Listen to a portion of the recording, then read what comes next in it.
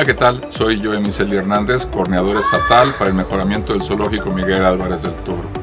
Quiero hablar de algunas acciones favorables al ambiente que deberíamos tener en mente como algo de nuestros buenos propósitos para el próximo año, y es el no adquirir fauna silvestre como mascota.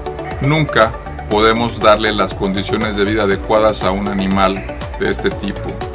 No compremos fauna silvestre.